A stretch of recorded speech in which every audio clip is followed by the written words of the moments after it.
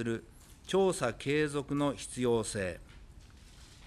これらについて論じています。そして第6章の3、原子力災害の再発防止及び被害軽減のための提言、これは432ページから記述しておりますが、中間報告及びこの最終報告におけるすべての提言を改めて7つの分野に整理して再録しています。当委員会は国、関係自治体、事業者などの関係機関がこれらの提言を今後の安全対策、防災対策に反映させ、実施していくことを強く要望するものです。最終報告本文編は、6章に続く委員長所管、これは443ページから記述していますが、この委員長所管で締めくくっています。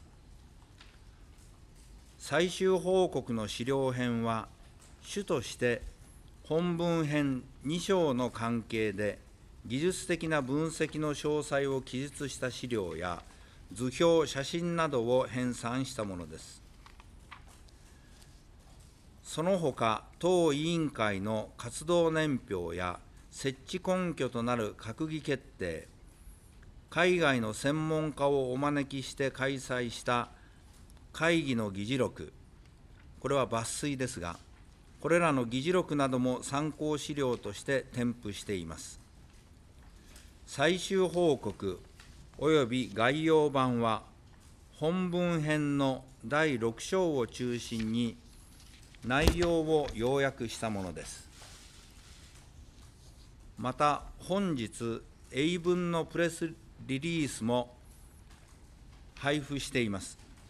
これは冒頭に当委員会の活動等についてごく簡単にまとめた上、提言を抜き出して記載したものです。概要版や最終報告本体の英訳も出来上がり次第ホームページに掲載して公表する予定です。最後に最終報告を取りまとめまし取りまとめに際しての委員長としての所感を申し上げます。委員長としての所感は、先ほども申し上げましたとおり、最終報告本文編の末尾に掲載してありますから、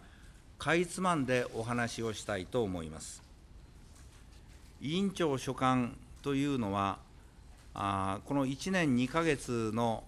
調査・検証を行っている過程で、私が考えたことを言葉にして記述しています。そして一つずつの具体的な対応に関連しているんですが、一つずつの事柄の記述するのではなく、それから何を学び取ったかということを言葉にしています。私流の言葉で表現すると、いくつもの事柄の中に入っている支配要因とそれらがどういうふうな構造を持っているかということを記述することで、きちんとした知識にして高め、そしてその知識が将来きちんと理解されて使えるようなふうに準備することが大事だということを考えて作ったものです。普通こういう自己調査とか検証の報告書にはこういうものっていうのは載っていないように思うんですが一番初めにこれを始める時に申し上げました100年後の評価に耐えるそのつもりでやるんだと言いましたので、100年後に、なんだ、このくらいのことしか書いてないのかって言われるのはとても嫌なので、きちんとここまでは考えたぞというのを言葉にして表現しようと思いました。そしてそれが報告書の本文の一番最後のところに載っていますので、後でご覧ください。一つずつと詳しく話をする時間がありませんので、全部で7つ書簡が書いてありますから、簡単に説明していきます。まず1番目は、あり得ることは起こる。ありえないと思うことも起こる。ということです。これは全部をご覧いただくと全くその通りだと思う皆さんもお考えになると思いますが例えば長時間の全電源喪失は考えないでよい。というふうに安全委員会が決めたときから皆このことを考えなくなっています。しかし実際にはこういうことが起こったわけです。私たちはあり得ることは起こる。というふうに考えていたのですが国際会議で指摘されたのはありえないと思うことすら起こるのが原子力の怖さなんだというふうに理解しないといけない。ということを外国の専門家から具体的にはフランスのラコステさんですがそういう指摘を受けました。こういうところから学ばないといけないというふうに思います。次は見たくないものは見えない。または見たいものが見える。ということです。東京電力は自然災害対策において津波に対するアクシデントマネジメントの策を整備せず複数の原子炉の同時被災について考えていなかったように見えます。でこういうものというのはいつもそれぞれの人は本当に真面目に一生懸命やっているんだということはよくわかるんです。しかし初めに複数のものが同時に起こることを考えない考えたくないそれで考えないでいるとそのところを疲れて大災害になります次に全ては変わるまたは変化に柔軟に対応するということが大事です。福島県沖を震源とする大規模な地震や津波の可能性の知見が次第次第に増加して増していってそして非常に重要な知見になってきてなりかかっていたように私には見えます。しかしそのことに注目をしなかった。というふうに見えます。物事を取り囲む余条件は常に変化するのです。常に変化に応じた適切な対応を模索し続ける必要があります。この適切な対応を模索し続けないで、起こらないことにしてやり、やっているうちに、今回の事故になってしまったというふうに見えます。次に、可能な限りの想定と十分な準備をするということです。地震の想定と備えは相当にやってありました。しかし津波への想定は貧弱で備えはほとんど何もなかったと言えるというふうに思います予期しない事態の出退に十分な備えがあれば今回のような大事故には至らなかった可能性があります。思いつきもしないことが起こる可能性を否定しないで最悪の事態に至らないような備えをするという謙虚な態度が必要だというふうに思います。次に形を作っただけでは機能しない。仕組みを作ることはできますが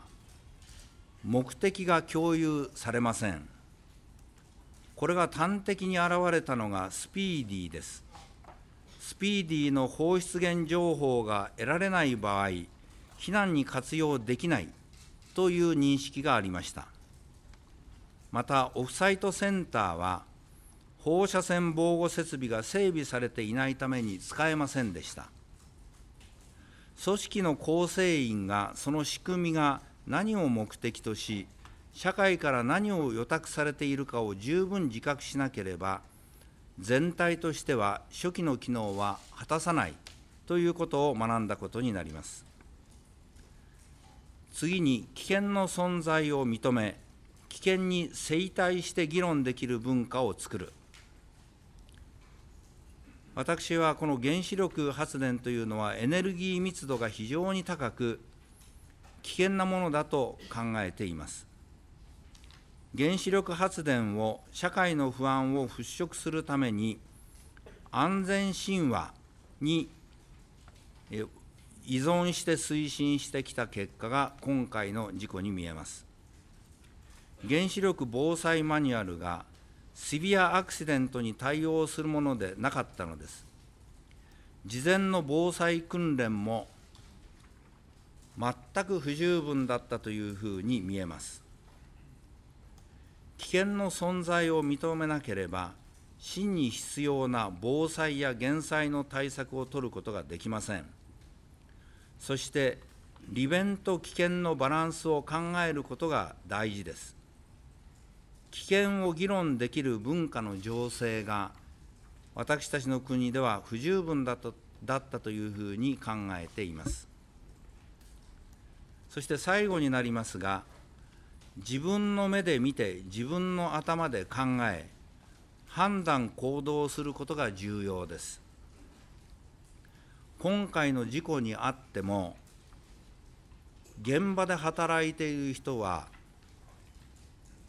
非常に的確な判断をして、そしてきちんと行動している部分がたくさん見えてきます。そしてその人たちの献身的な努力のおかげで、私はこの事故がある大きさのところで止まった可能性があるんじゃないかというふうに思っています。想定外の事故や災害に適適切に対応するには、自ら考えて事態に臨む姿勢と柔軟かつ能動的、受動的ではありません、能動的な思考が必要だというふうに考えています。えー、一番最後に、えー、少し長くなりましたが、私がの所感で7つの事柄を考えて、えー、それが実際のこの事故とどう関係しているかをお話ししました。で、えこれで委員長としての私の初めの説明はこれで終わりにいたします。では、皆様から質問がありましたらお受けしたいと思います。挙手をお願いします。順番にご指名しますので、お名前と所属をおっしゃっていただいてご質問ください。では、一番最前列の